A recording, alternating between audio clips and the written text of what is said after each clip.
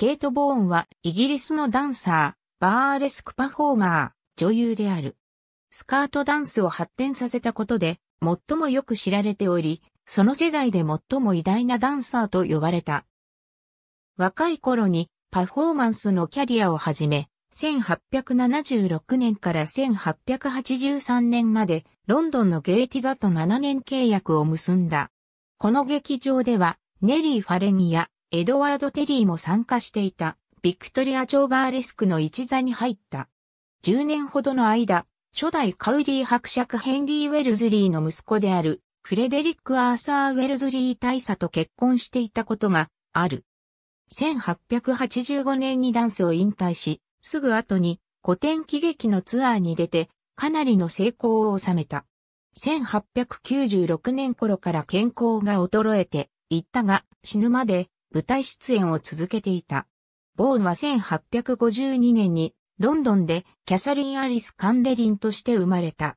後にボーンは少年をもっと後にするようになり、フーズ・フー・イン・ザ・シアターでは実際より4歳若い年齢が記載されている。父親はウェストエンドでオーケストラ奏者を務めており、ボーンも少女時代からウエストエンドの舞台に出演していた。ボーンはスカートダンスを発展させたと考えられており、1873年にジャック・オフフェンバックの地獄のオルフェが上演された際、スカートダンスを披露した。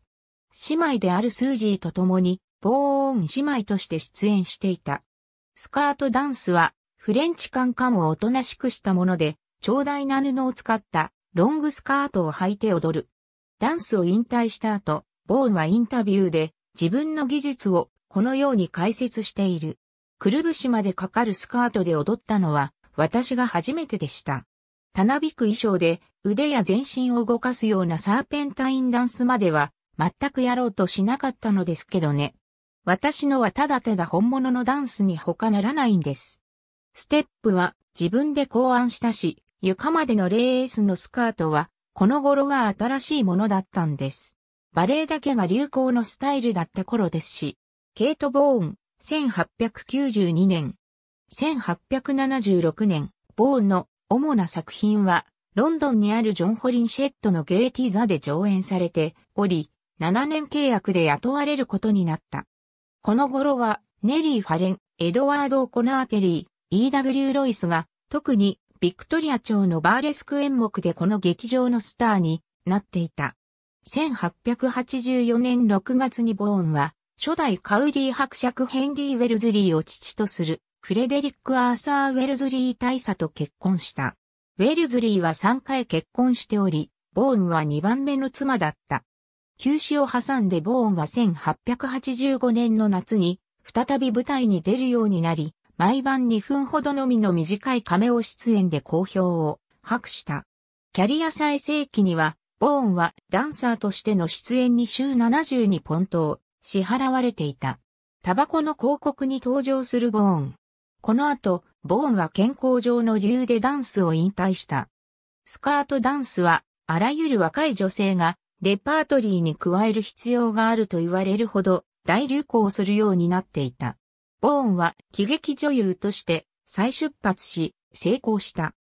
1886年からはチャールズ・コレット、ライオネル・ブラウ、ジョンストン・フォーブズ・ロバートソンなどが参加する劇団を率いて、オリバー・ゴールド・スミスの負けるが勝ちや、リチャード・ブリンズリー・シェーリダンの恋敵など古典的な英語の喜劇の新演出上演を引っ提げて、ロンドンのシーズンをこなし、ツアーも行った。